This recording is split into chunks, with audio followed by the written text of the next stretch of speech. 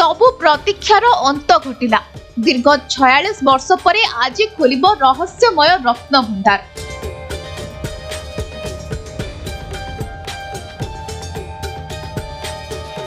এথিপাই শুভ মুহূর্ত নির্ঘণ্ট করা যাইছি দিন গোটায়ে অঠেইশ মিনিট্রে খোলব রত্নভণ্ডার আজ সারা রাজ্য এবং জগন্নাথ প্রেমীঙ্ বহুত বড় দিন কারণ বহু বর্ষর কল্পনা জল্পনা পরে ଶେଷରେ ଆଜି ଖୋଲିବାକୁ ଯାଉଛି ମହାପ୍ରଭୁଙ୍କ ରହସ୍ୟମୟ ରତ୍ନ ଭଣ୍ଡାର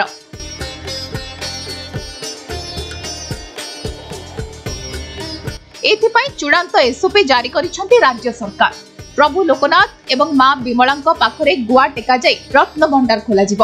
ଏଥିପାଇଁ ମହାପ୍ରଭୁଙ୍କ ଆଜ୍ଞାମାଳ ମଧ୍ୟ ଆସିସାରିଛି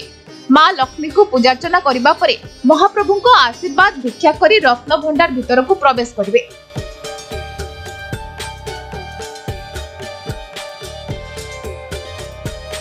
ପ୍ରତିଦିନ ଗୋଟାଏ ଅଠେଇଶ ମିନିଟ୍ରେ ଖୋଲିବା ପ୍ରକ୍ରିୟା ଆରମ୍ଭ କରାଯିବ ପ୍ରଥମେ ଚାବିରେ ଖୋଲିବାକୁ ଚେଷ୍ଟା କରାଯିବ ଆଉ ଯଦି ତାଲା ନ ଖୋଲେ ତେବେ ତାଲା ଭଙ୍ଗାଯାଇ ରତ୍ନଭଣ୍ଡାର ଖୋଲାଯିବ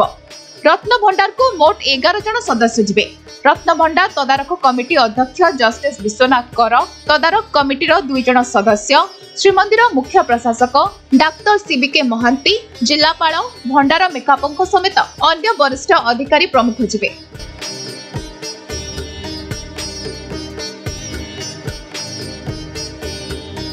ଏହି ସମୟରେ ଭକ୍ତମାନଙ୍କୁ ମନ୍ଦିର ଭିତରକୁ ନ ଆସିବାକୁ ଅନୁରୋଧ କରିଛନ୍ତି ଜଷ୍ଟିସଙ୍କର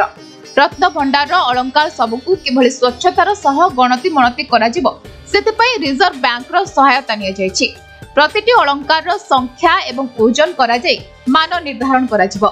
ଏସବୁକୁ ଡିଜିଟାଲ ଫର୍ମାଟରେ ଡକ୍ୟୁମେଣ୍ଟେସନ କରାଯାଇ ଆଗାମୀ ସମୟ ପର୍ଯ୍ୟନ୍ତ ରଖାଯିବ